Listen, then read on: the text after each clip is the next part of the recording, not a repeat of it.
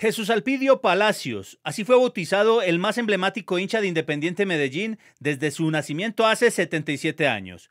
Pero el remoquete que le pusieron sus compañeros de trabajo y por el que se hizo conocido en las tribunas del Atanasio Girardot cuando corría con su bandera de un lado a otro para alentar al rojo, hizo que se cambiara el nombre por Caretor Tadim.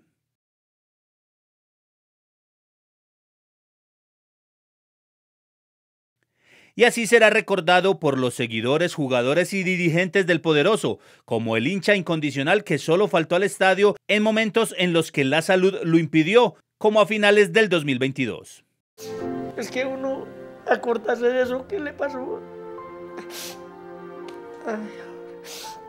Entonces yo estuve mucho rato ido de esta tierra. Hizo en su hogar un templo rojiazul al que pocos tenían acceso y donde siempre veía los partidos de visitante. A una semana del crucial partido contra Always Ready para definir el primer puesto del Grupo A de la Copa Sudamericana, Medellín ya no contará con la presencia física de Caretorta en la tribuna, quien falleció después de un accidente de tránsito este domingo.